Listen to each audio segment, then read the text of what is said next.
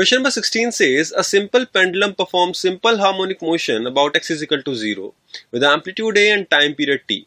At t is equal to 0, pendulum is at one extreme position. The speed of pendulum at t is equal to t by 6 is. Dear students, in such a case, the displacement of the pendulum can be written as a cos omega t, where omega is the angular velocity. And in the terms of time period, it can be written as 2 pi by capital T into small t.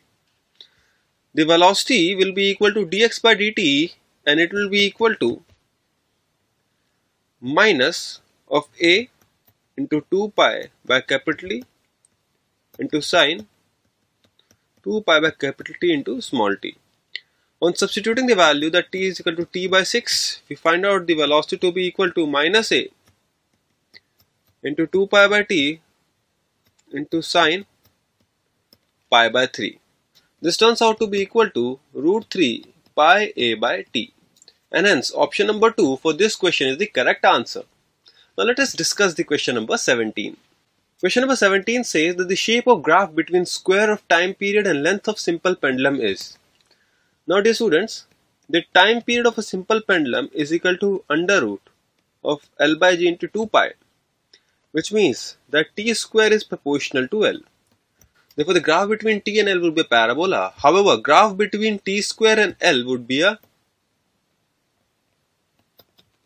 straight line and therefore option number 3 for this question is the correct answer. Now let us discuss the question number 18.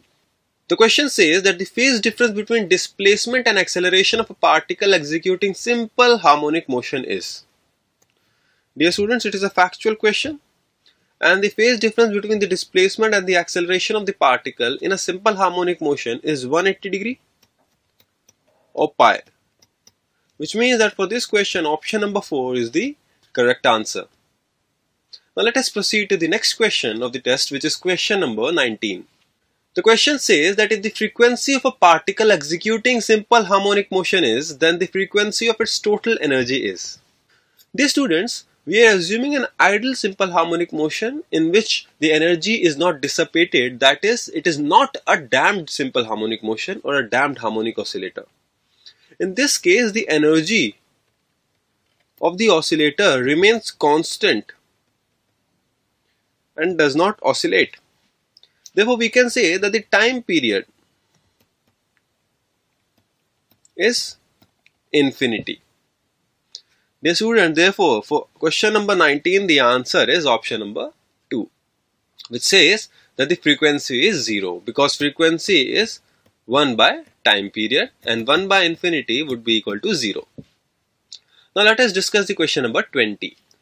Question number 20 says, in case of forced oscillation, the frequency of oscillation of body is first equal to its natural frequency, second equal to frequency of applied periodic force, third average of natural frequency of applied periodic force. Fourth, difference of natural frequency and applied periodic force.